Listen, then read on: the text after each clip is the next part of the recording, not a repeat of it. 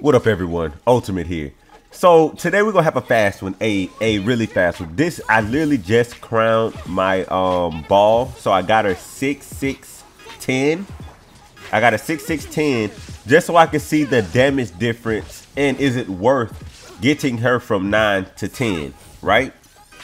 So we just go see like you know what I'm saying what how much damage I was able to get and is it worth it? Now it's as clear as day that uh as since I am voice over this shit that yeah my ass done already fucking did this shit and is it worth it? Well you guys gonna have to sit here and fucking wait and see with me.